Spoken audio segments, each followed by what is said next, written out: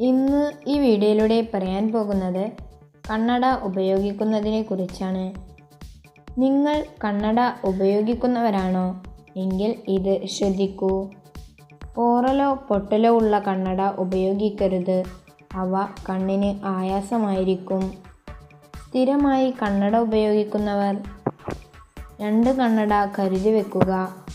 ഒന്നിന് എന്തേലും കേടുപാടുകൾ പെട്ടെന്ന് സംഭവിക്കുകയാണെങ്കിൽ നമുക്ക് അടുത്തത് ഉപയോഗിക്കാൻ സാധിക്കും.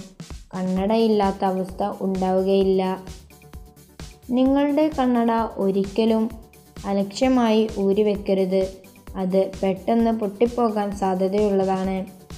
ഒരു വ്യക്തിയുടെ കണ്ണട മറ്റൊരാൾക്ക് കൈമാറ്റം ചെയ്യരുത്.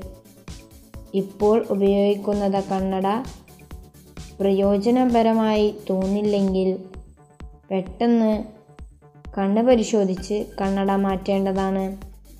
കൂടുതൽ ആരോഗ്യ വാർത്തകൾ അറിയാൻ ഈ ചാനൽ സബ്സ്ക്രൈബ് ചെയ്യൂ. ഈ വീഡിയോ ഇഷ്ടപ്പെട്ടാൽ ലൈക്ക് അടിക്കൂ. മറ്റുള്ളവരിലേക്ക് ഷെയർ ചെയ്യൂ. നിങ്ങളുടെ നിർദ്ദേശങ്ങളും അഭിപ്രായങ്ങളും കമന്റ് ബോക്സിൽ കമന്റ് ചെയ്യൂ. ഈ വീഡിയോ കണ്ടതിന് നന്ദി.